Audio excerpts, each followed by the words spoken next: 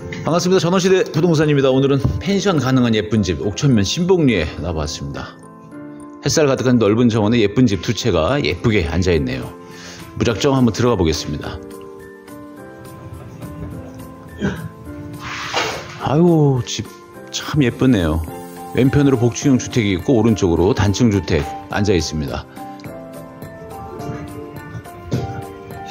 야, 이 정원수 넓은 정원에 조경도 잘 꾸며 놓으셔서 참으로 정감 있는 주택입니다. 한 바퀴 둘러볼게요. 맑은 안반수가 펑펑 솟아오르는 넉넉한 우물가가 있네요. 꼬마들 같으면 수영해도 좋을 그런 공간입니다. 텃밭의 정원에 무엇 하나 부족함이 없는 그런 집입니다. 멀리 중미산 이렇게 한눈에 확 들어오네요. 계획관리 지역이고요. 대지 230평, 건평 22평, 지하 안반수 그리고 정화조 사용하고 있습니다.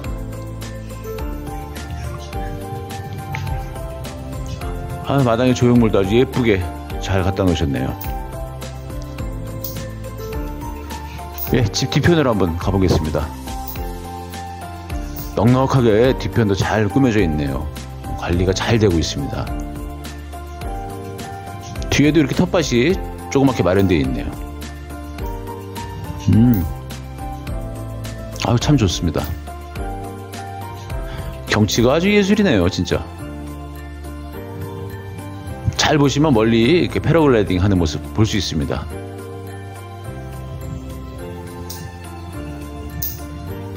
먼저 첫 번째 집으로 들어가 보겠습니다.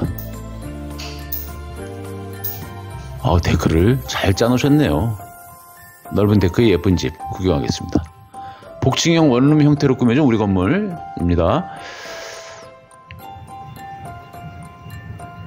네, 주방 가구도 이렇게 마련되어 있네요. 노 층고 높은 거실 그리고 벽난로가 아주 인상적입니다. 창문 아주 사방으로 이렇게 만들어 놓으셔서 창밖으로 보이는 풍경 또한 아주 예술적입니다. 2층에 침실 공간 가볼게요. 이렇게 올라가 보면 음, 채광도 잘 되어 있고 잘 들어오고요. 넉넉한 공간이 있습니다. 2층엔 이렇게 전기 필름으로 난방이 가능하도록 되어 있습니다.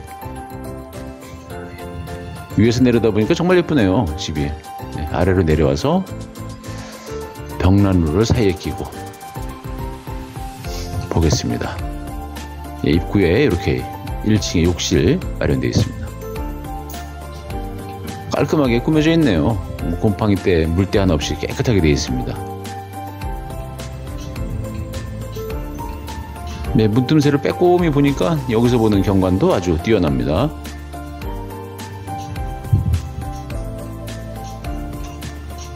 아우, 넓은 데크 이렇게 손상 없이 관리되기 힘든데 잘 유지되고 있습니다.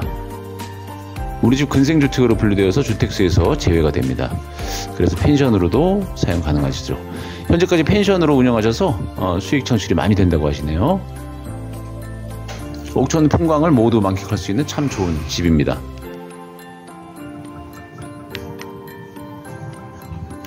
아우 참 좋네요 집. 널찍널찍하니. 자 이번에는 또 다른 건물로 가보겠습니다. 성큼성큼 걸어가 볼게요. 야 주인장님께서 주변을 이렇게 관리하고 계시네요 예쁜 소나무도 이렇게 눈에 들어오고요. 네, 또 다른 건물로 들어가 보겠습니다.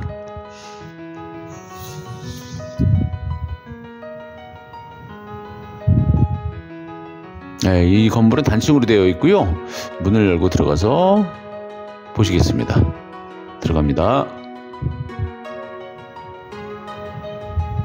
이 집도 원룸 형태로 거실과 분리된 방 욕실, 주방 그리고 벽난로가 설치되어 있습니다. 넓은 데크도 이렇게 같이 있고요. 간단한 주방 도구 보십니다. 왼편으로 벽난로 있고요. 자, 이 방, 어, 박공형 천정의 넓은 방이네요. 음, 양쪽으로 창이나 있어서 채광 걱정 없습니다.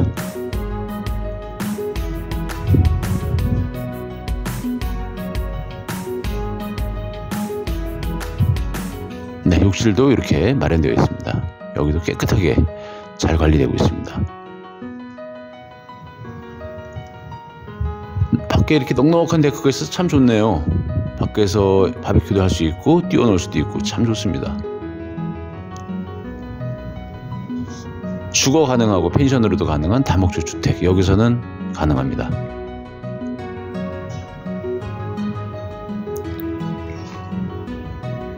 옆을 보시면 이렇게 텃밭하고 자그마한 창고가 또 마련되어 있습니다.